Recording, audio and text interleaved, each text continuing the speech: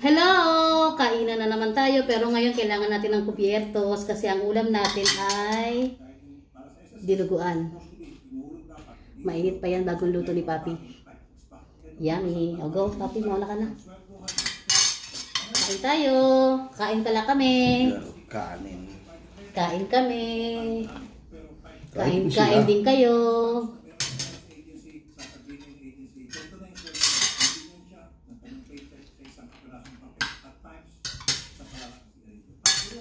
Nanood kami ng ano ng Tulfo yung sa security guard.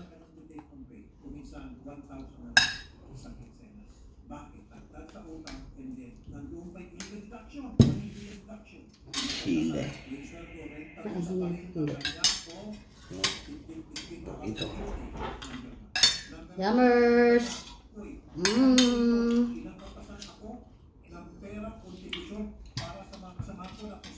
Thank you, my love.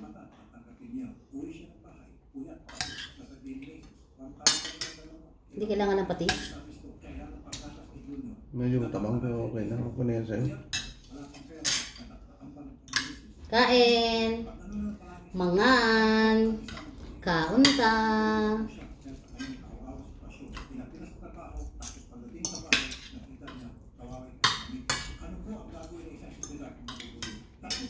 ba kasi nangyari sa may security guard?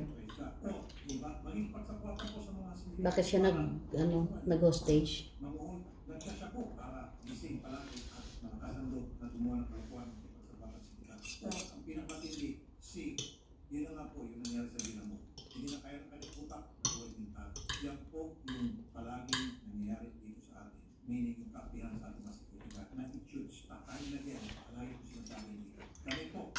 Yung ano, ano, di ba yung nag-amok ng skit ko yung, ano? Mm.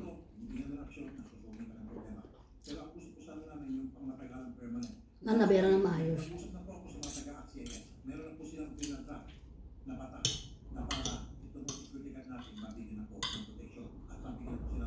Pero may namatay ba o may na nabaril lang yata siya, eh, no? May nabaril siya?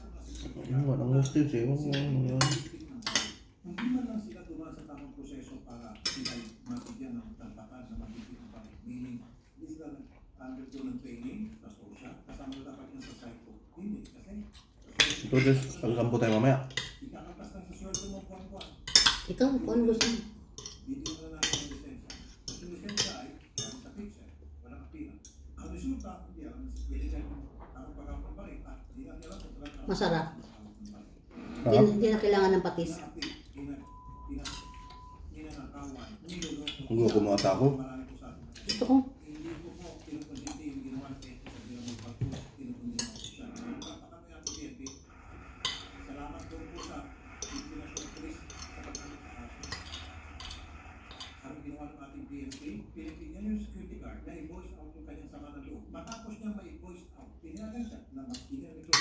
Hmm, nagsalita pa. Hmm.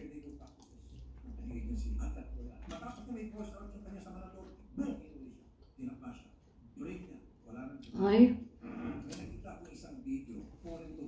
Yung isa pong tao kumain sa isang police station sa bangkok tayo ng tipo. Niyawak-hawak siyang knife. Then, akumpal na siya sa harap. Siguro mga dalawang sa harap. napanood ko yan sa Facebook eh. Pero yung pulis, ano, Tulog na balik para siya. Tumupo yung pulis ayan oo. sa mesa. Pero na, nakipag-usap sa kanya. Habang nakipag-usap siya dun sa tao, nalaman-laman niya na yung pala may hawak-hawak ng kutsilyo, isang linggo na walang tulog-tulog at pinag-duty siya ng straight. At wala siyang kain-kain. That, minako pa yung kanyang gitara kasi siya po sumasayad ang bilang guitarist. So nagpulong siya, pumunta sa police station, gusto niya mabuting tao, doon siya sa police station. Nung makausap siya ng police, ng mahinahon, ibinigay niya yung kutsilyo sa police. Umiyak lang siya dyan eh. Niyakap siya. Ibunan ng pulis yung kanyang gitara, binigay sa Sana gawin nilang ginawa ng mga pulis no, nung ano. Masakit man po ito, wala akong to say. Pag wala akong kayong gagawin sa trabaho, ay itong mga pumupunan. Sinisiguro po sa inyo, tinanong ko sa bilang mo, mangyari pa ulit. Nag kasi kami ng tulfo. Sure. Tingnan mo, ang daming nakikialam na. Meron pa yung umano yung palang na, putang ina ng mga taon to. High blood si Papi.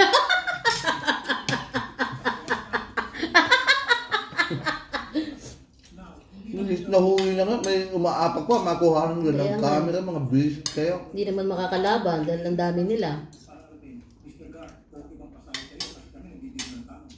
Para nakakatanto ba kayo ng tanong? Mimi. Do it. For your own sake. Sinabi ni Gar, okay po, tumatanggap ako ng minimum. Hindi kumain? Ano gusto ka? Eh. Kumain ka muna, may lab. Ayaw na. May iniwan akong ano dun eh, atay. Kapag kanya mamaya, i- ipaplans ako.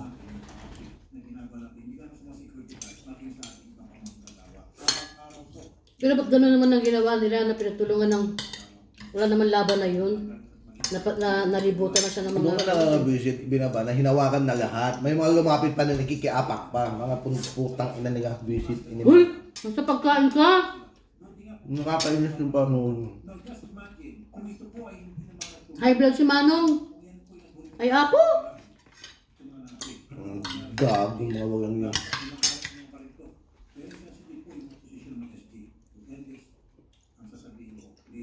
Basta ako kain lang. Magmamahaman, tulog-tulugan, let's open our eyes sa katotohanan. Even while we speak, marami nakikinig ngayon sa atin, nanonood. Mga amo, mga taga-agency, may-ari mga ano, binabasa mga SG, least mga SG. Even while we speak, meron po mga SG Sarap nga.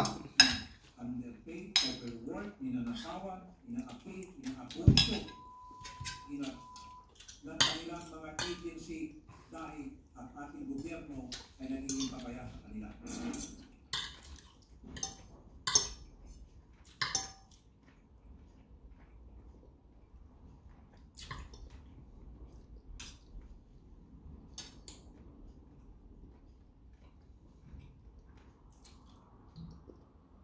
Tagal naman ang kasunod. Ayun, pantro. Pinatol ko.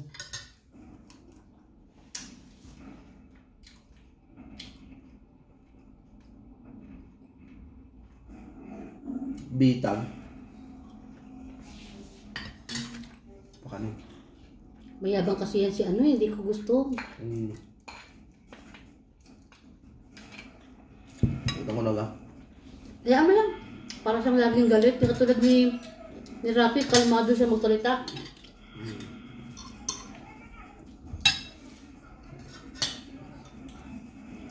Hmm, kala mo si Tulpo. Kala mo siya naman ng ano eh. Masaba diha doon.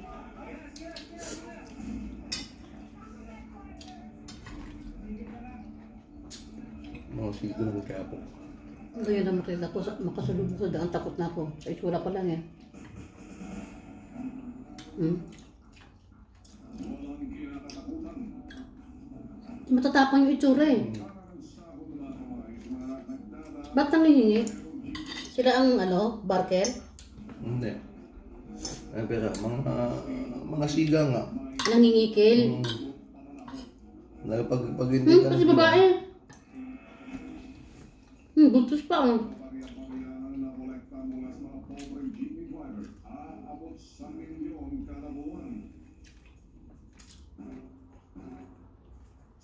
Marami kasi yan sila magkakasama eh. Pag pumalag ka, tulong-tulong yan sila.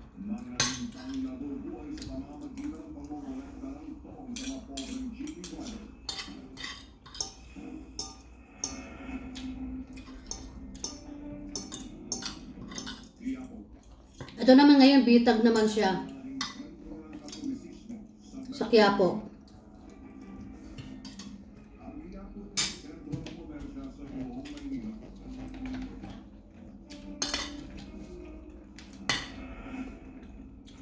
Ano ng liwanag sa bintana?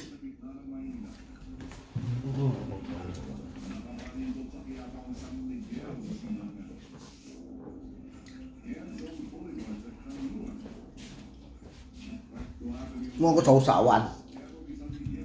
Manghang. Kala ko ba ayaw mo na may sausawan? Kulang sa hang eh. Pakpak na lang ako, mabigat sa tiyan. eh.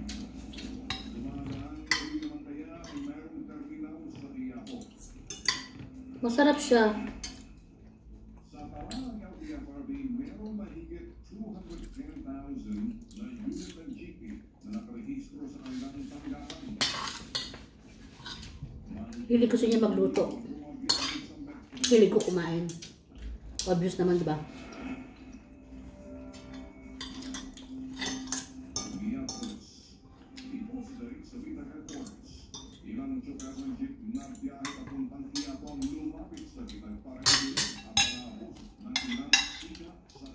Ano ba? Mamaya makain ko. Mamaya kakain ako ng chipiron. Ng Hidalgo Street. Ano? Ano, siguro mga 6, gano'n, no?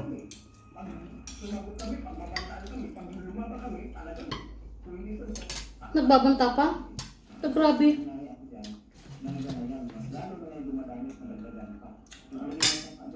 Gusto mo din ba dinugo ang body? Gusto nang hihingi na lang, oh. Hala. Pag ayaw, pag hindi sila magbibigay, nagagalit pa. Mga siga nga. Hala.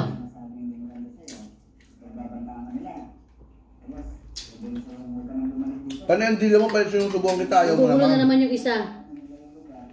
Banatang kita eh. Ben Baz, to Aki. Takit din siya. To Aki, Ben. Ayaw. To Aki. Hmm, Ito na siya, nang gulo na eh, oh. Si boss.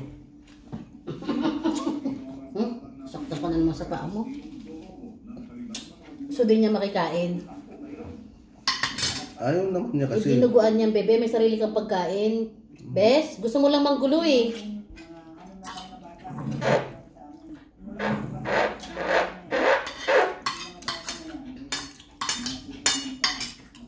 Ay, baka. Pero usog ang bigat mo. Beso mo ako masag. Beso na si Papi. Beso. Beso Papi, Aki. Muy bien. Kaway? Kami busog na. Yung isa, ito, mamaya pa to kakain. Atay din ng pagkain niya.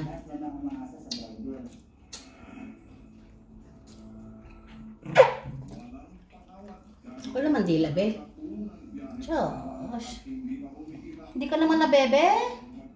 Damulag ka na eh. Gusto lang niya mambuisit kasi kumakain kami. Gusto din niya, nandito din siya.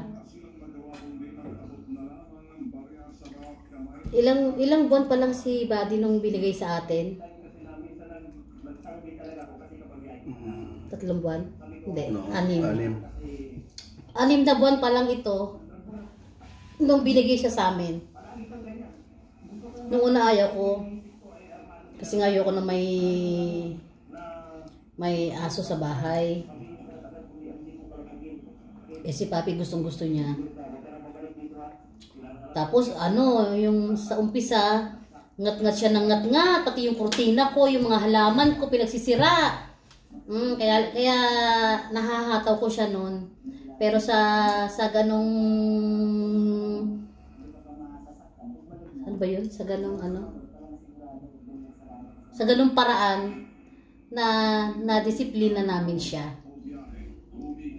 Tapos noon kung saan saan siya umiihi, nung ano pa lang siya, baby pa lang siya. Siyempre tuta pa lang, wala pang alam eh. Kung saan saan siya umiihi. Kaya lagi akong, lagi minit ang ulo ko nung kasi sinusundan-sundan ko lagi. Pag ito nawala sa paningin namin, iniisip ko na kagad, may ginawa to eh. May ginawa to kaya nawawala sa paningin namin. Kaya naghahanap ako bawat bawat kanto ng bahay, bawat sulok kung saan to, baka may ginawang ano na naman, kababalaghan. Tapos hanggang sa, ayun, nagkaisip siya, nagkaisip siya, kala mo tao. Taga, may isip naman talaga tong hayop ah.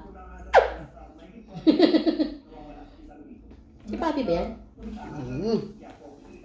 Hanggang sa lumaki na si Buddy, alam mo, pagka, pag yung masama yung pakiramdam niya, yung nasusuka siya, o halimbawa, sira yung tiyan niya, o naiihi siya, doon lang niya ginagawa sa banyo. Kahit sa ang bahay, kasi palipat-lipat kami ng bahay, basta sa banyo lang niya ginagawa, kaya ah, pag ano, alam na namin na doon, yun lang ang nilinisan namin yung CR lang. Kasi talagang doon, doon din siya nag, naglalabas ng ano niya. Kapag ka yung masama yung masama yung tiyan niya. Nakakaawa minsan pag yung yung susuka din siya, doon siya tumatakbo kagad sa ano Sa CR niya ginagawa. Mabait ito eh. Problema lang kasi namin dito, hindi siya kumakain ng ano, ng dog food. Nasanay siya kanin, binigay, binigay, niregalo kasi siya sa amin, kanin na yung kinakain niya. Doon ang nagbibigay yung, yung may-ari nito noon. Kanin talaga na ang pinapakain sa kanya. Kung kaya nung nasa amin na siya, sinubukan namin bumili ng dog food. Ayaw niyang kainin. Tapos hinalo namin sa sa kanin. Ayaw pa rin niyang kainin. Kaya mula noon, kanin na talaga. Tapos kung ano na lang ulam, halimbawa, manok, na yung tawag yan, ala plancha. Ang tawag yan, Mela? Grill. Yun, grill.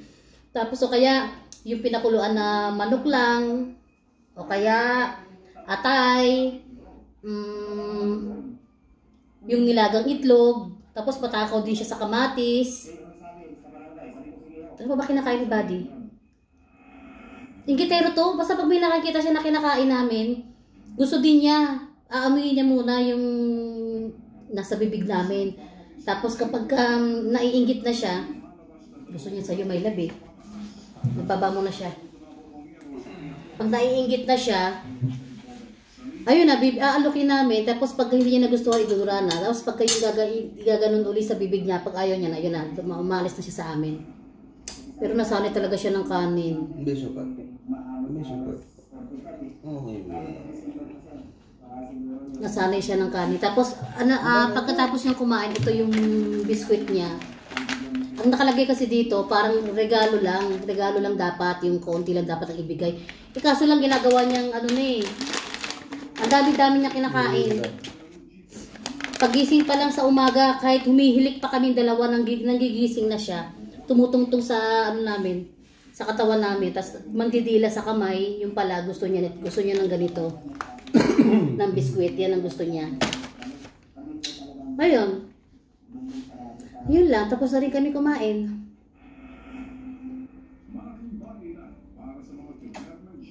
Bigat sa tiyan, ulam. Nandun ko nakain. Ako din, bigat sa tiyan. Naantok na naman tuloy ako. Namaya matutulog, papahinga, tapos mamamasyal mamaya. Nada, si Buddy naman ang toka niyang kumain mamaya. Kanin tsaka atay, pritong atay ang ulam niya.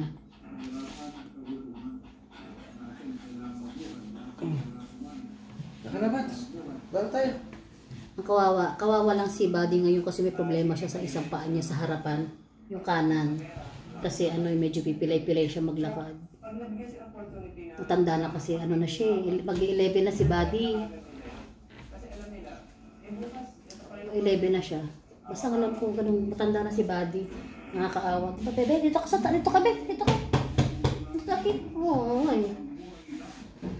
Ito ang ano, ito ang Kumusta ice cream? Walang ice cream? Wala nang ice cream? Eh, mag-chocolate ka na lang. Si Buddy mula nung yung luma, lumala, habang lumalaki-laki si Buddy, siya ang ayoko, laki, ano, nabusog ako may labi.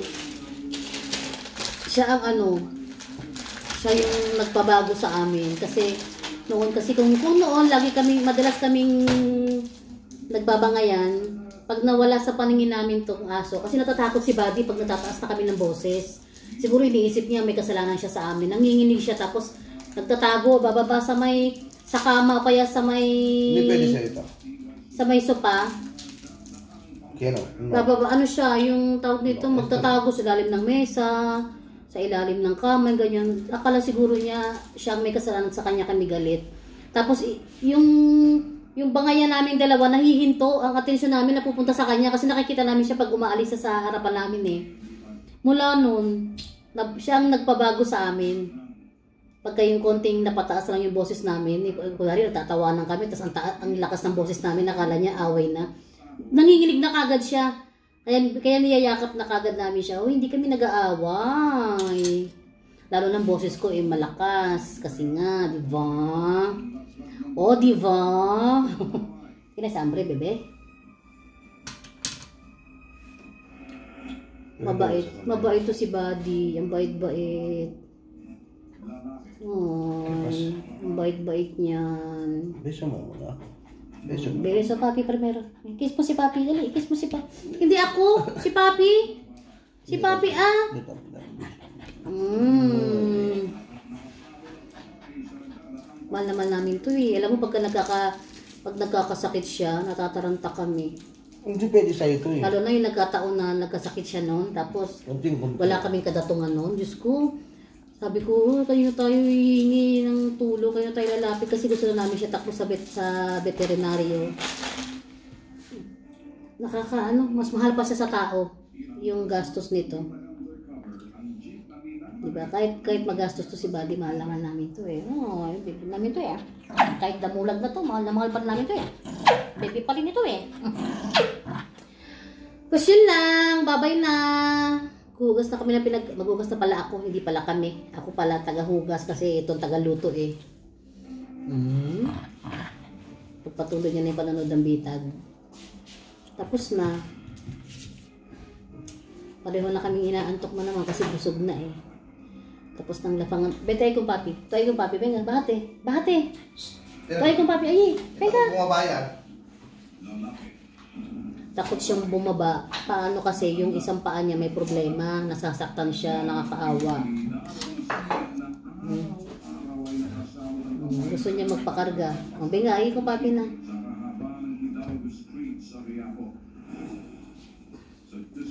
Bye-bye na guys. Dami ko na na-chika sa inyo. Bye-bye. Sana, sana na-enjoy niyo yung panonood sa amin. O, akit ka na naman? Doon ka na kay Papi. Ay, kasi nandito yung chocolate eh. Naamoy niya. Hmm, tinan mo? Hindi ka pwede yan, be. Bawal sa'yo yan eh. Bawal sa'yo yan. Bye-bye!